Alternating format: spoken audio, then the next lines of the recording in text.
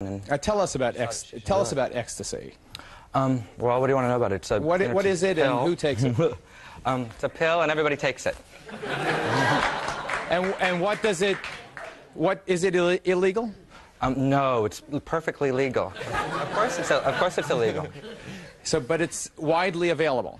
Well, you know, as much as anything else is. And you gave one to your mom, I gave some to my mother. and mom's here. Mom, Elke. What happened when uh, when Michael did that? It was a headache pill. You, you thought it was a headache pill? Yes. And how did you feel after you took this Got pill? rid of my headache.